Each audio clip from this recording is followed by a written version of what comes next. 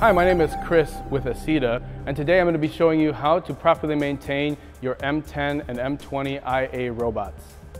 Three things that we'll talk about before we actually get into uh, applying grease and oil to our robot is one, uh, be sure that you take backups of your robot before you start this. Links to that, to those videos that we provide are, will be in the description below.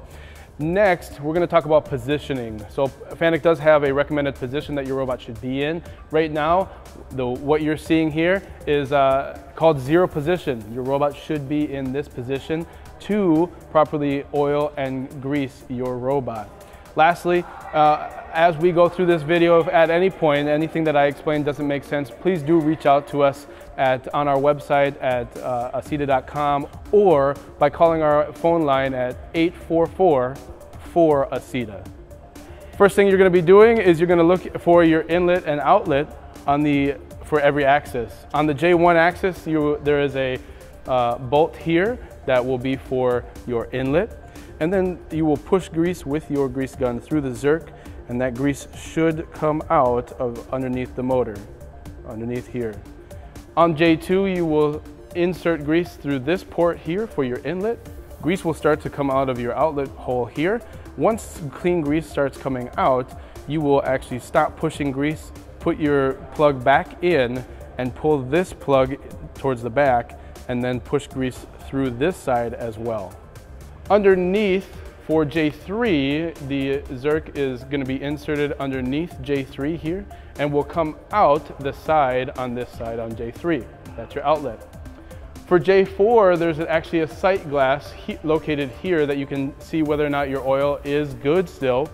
Um, Fanuc recommends that if that sight glass is dirty, to go ahead and maintain and change that grease out, or that oil.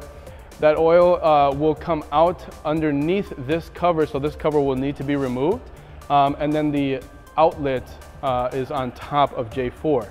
For the J4 gearbox on this robot, the inlet is actually located here. Um, so you will pull this plug out, oil will then start to come out, and then you will wait for all of the oil to be drained out of this robot.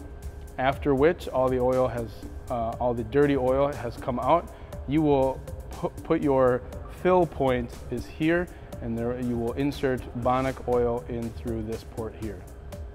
Once you've started pushing oil through that, that filler point on the bottom of J4 gearbox, the oil will come out through this plug here. This plug should be removed before inserting grease through that inlet port.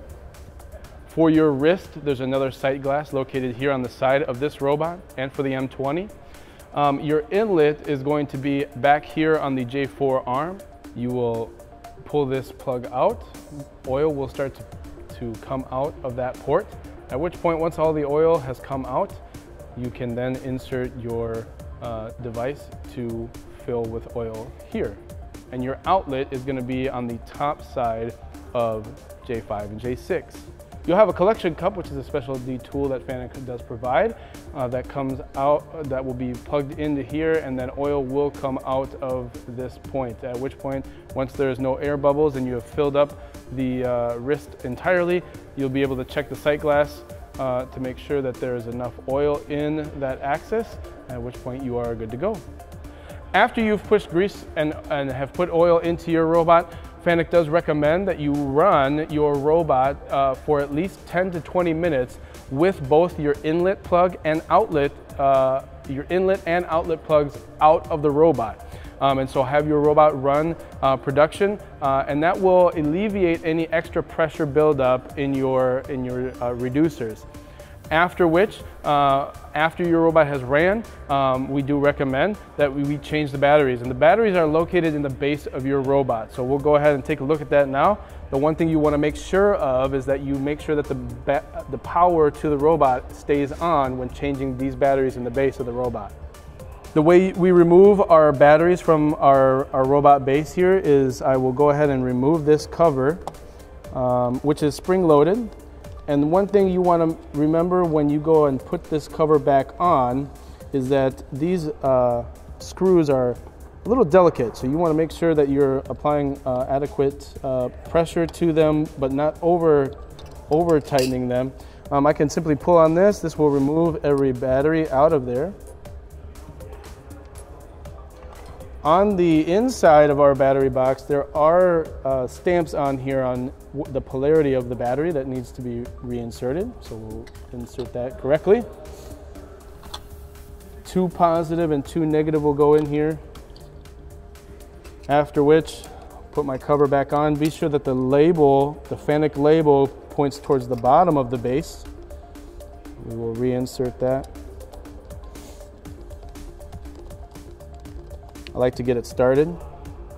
So that way the box is holding it. And again, as I'm tightening this down, I'm gonna make sure it's just snug. Uh, you don't wanna over tighten it as those bolts can, or screws can snap the heads off and that is changing the batteries on the base of your robot. If your PM is done yearly, um, that's great, but FANUC does recommend that you change the batteries in the base of your robot once a year. The very last thing we're going to do with our FANUC robot is we're going to replace the RAM battery. Now the RAM battery is located in the controller, and so depending on the safety requirements at your facilities, please do continue to follow those safety protocols. Um, so first thing we're gonna do is we're gonna power off the robot here by just taking and flipping the disconnect. And then we're gonna go to our main power source for that robot and we're gonna turn that off as well, just to make sure that there's no power coming into our controller.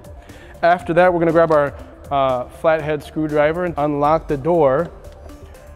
Once I've unlocked the door, I'm gonna rotate the disconnect to the left. You'll feel a pop from the disconnect and I will then that will allow the door to open.